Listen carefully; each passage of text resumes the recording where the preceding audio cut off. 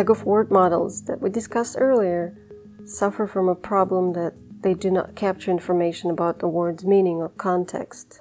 Words are treated as atomic units. There's no notion of similarity between words, as they are presented as indices in the vocabulary. One of the major disadvantages of using bag of words is that it discards word order, ignoring the context.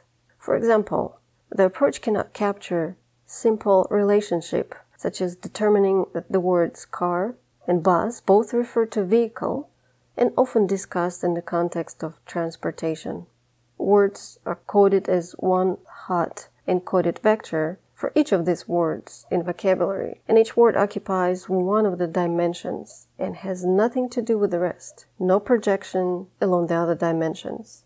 Next comes the idea of generating distributed representations. A word should preserve some dependence on the other words. For example, the words in the context of the specific word should get a greater share of this dependence. These dependencies can be captured when word vectors are represented as multidimensional continuous floating point numbers, where semantically similar words are mapped to proximate points in geometric space. Look at the left panel. It shows you vectors for three word pairs illustrated the gender relation. Right panel shows how multiple relations can be embedded for a single word, and here we have singular, plural relation and gender relation.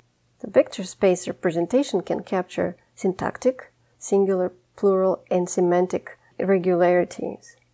Word2Vec is one of such models, and it was developed in 2013 by Thomas Mikolov at Google as the response to making the neural network training of the embedding more efficient. And since then, it has become the de facto standard for developing pre trained word embeddings. Word2Vec is based on distributional hypothesis, where the context for each word is in its nearby words. The goal is to generate vector representation of words that carry semantic meaning for further NLP tasks, for example, classification, and the transformation from words to vectors is known as a word embedding. Word2Vec introduced the following two different learning models to learn word embeddings. Continuous bag of words on the left, skipgram on the right. Continuous bag of words learn the embeddings by predicting the current word based on its context. The continuous skipgram model learns by predicting the surrounding words given the current word. The major difference between these two methods is that CBOW is using context to predict a target word, while skipgram is using a word to predict a target context.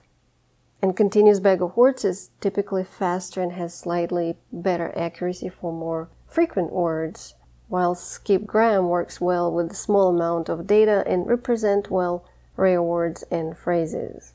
Each word vector is typically represented by several hundred dimensions, and each unique word in a corpus is assigned a vector in the space. The reason for the transformation from words to vectors is so that machine learning algorithm can perform linear algebra operation on number in vectors instead of words. Let's discuss continuous bag of word method. In this method, we predict the current target word, which is our central word, based on the source context words, surrounding words. Consider simple sentence. Natural language processing and machine learning is fun. We have pairs of context window and target word where if we consider context window of size 2, we'll have example such as natural processing and language. Thus the model tries to predict target word based on the context window words. If you look at the right, you'll see the context window define number of words on the left and on the right of the our target word, centered word. Let's look at the right representation of our small sentence. Row number two we have vocabulary of four words, and language is our target word. It's defined as one.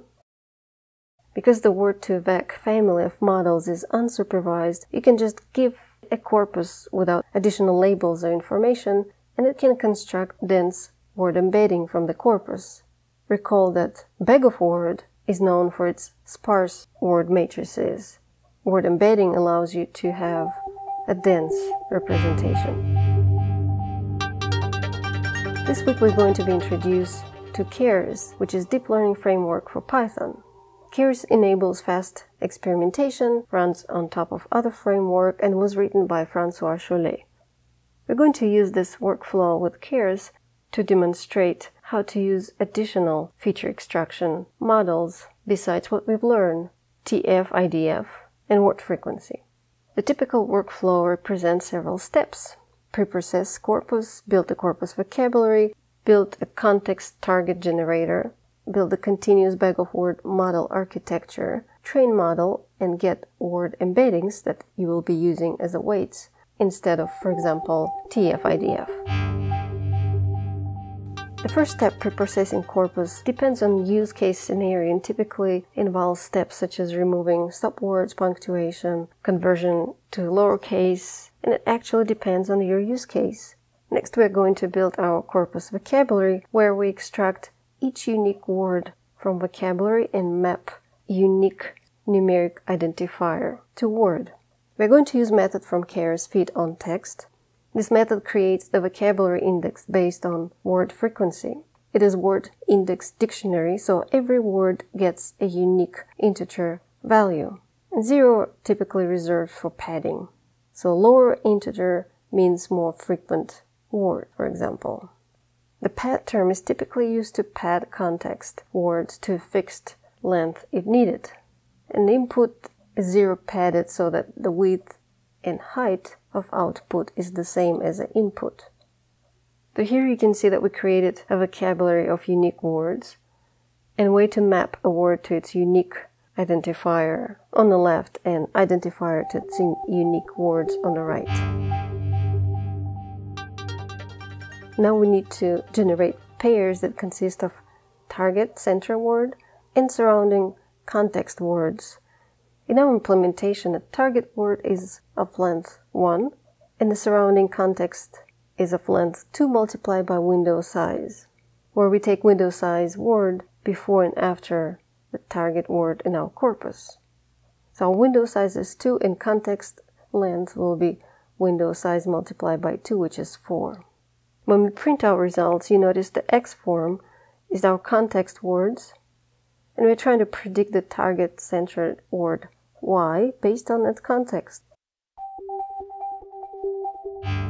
Now we're going to create a sequential model. The length of the vocabulary is specified by vocabulary length parameter.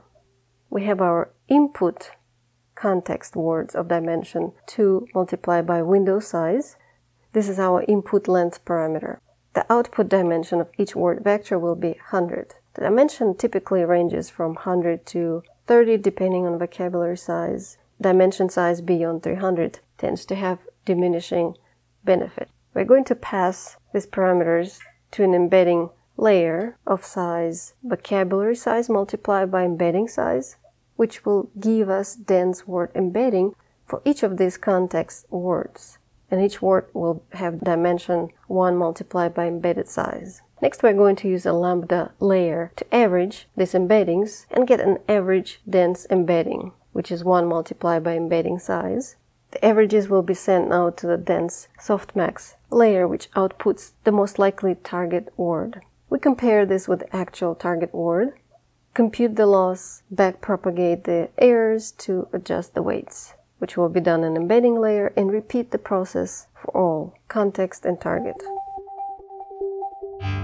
Let's review a bit a terminology. Epoch is a hyperparameter which is defined before training model. One epoch is when an entire data set is passed both forward and backward through the neural network only once. One epoch is too big to feed the computer at once, so we divide it in several smaller batches. And a batch is the total number of training examples present in a single batch. An iteration is the number of batches needed to complete one epoch. For example, we have a dataset of 2000 training examples. We're going to divide this dataset into 500 batches, and then we need four iterations to complete one epoch. When we train our corpus, our goal is to adjust weights to reduce a loss function. Once the model is trained, Similar words should have similar weights based on the embedding layer, And we will just take its hidden layer weights, which are the rows of the hidden layer matrix, and those are actually word vectors or embeddings. To get word embeddings for our entire vocabulary, we can extract them from our embedding layer. Get weights method return the weights of the layer as a list of NumPy arrays, and in this case we have three arrays. So we'll need to extract only the first array. The first array has dimension of 100 in vocabulary size, which is 2424, uh, based on the corpus we're using. And each word has a dense embedding size. Let's try and find out some contextually similar words for specific words of interest based on these embeddings. For this, we need to build a pairwise distance matrix among all the words in our vocabulary based on the dense embedding vectors, and then we'll find out the nearest neighbors of each word of interest based on the shortest Euclidean distance. Recall when we ran our training model, we use only two epochs, so the results may not be as accurate as if we ran multiple epoch for training. So now look at the results. Some of them make sense contextually. Alice, Queen, Rabbit. And training for more epochs actually provide a better results. Now we need to visualize these word embeddings using t-distributed stochastic neighbor embedding. It is a popular dimensionality reduction technique used to visualize higher dimension spaces in lower dimension as we'd like to know how similar words are. Let's look at the figure. The circles and figure show different words of contextual similarity positioned near each other in a vector space. We may notice there are some similarity groups formed, for instance, rabbit white, Alice, queen. So now we can use those weights for other NLP tasks. So the goal of Word2Vec is to generate vector representation of words that carry semantic meaning for further NLP tasks. So now in addition to frequency-based methods such as bag of words, TF-IDF, you'll be able to use Word2Vec model, which provide distributed representation.